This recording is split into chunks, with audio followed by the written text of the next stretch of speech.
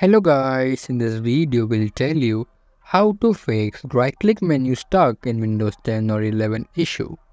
But before we start the video guys, if you have any computer or software related problems, please feel free to contact us by visiting our website and using the submit a problem button from there. Or comment down below on our videos about your problem and just don't worry, we'll make a video for you to resolve it. Number 1. Restart the computer.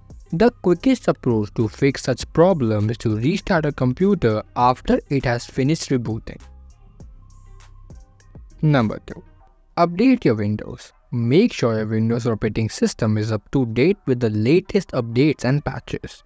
Updates often include bug fixes that may address the right-click menu stuck error you are facing. Number 3. Perform an SFC scan. Windows has a system file checker program that may check and restore faulty system files. Here's how to do it. Number 4. Clean your context menu.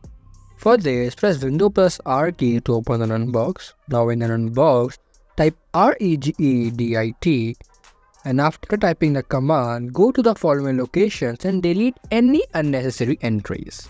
The locations are this. After this, just simply restart the computer to check for the problem. After this, just simply restart the computer to check for the problem. Number 5. Scan for viruses and malware. Malware and viruses can cause system slowdowns.